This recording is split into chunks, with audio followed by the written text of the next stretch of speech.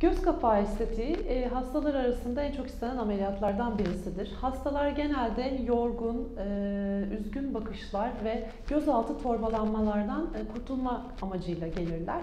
Burada sırf üst göz kapağı ameliyatı yapılabileceği gibi üst göz kapağı alt göz kapağı ile birlikte de yapılarak e, 4 kapak aynı anda ameliyat edilebilir.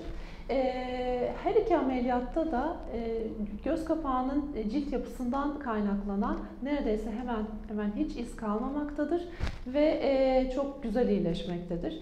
Burada hem cilt sarkıklıkları alınmakta hem fazla yağ dokuları redistribüsyon yöntemiyle e, tekrar yerleştirilmekte hem de o cildin altından fıtıklaşan yağların dokuları düzenlenmektedir.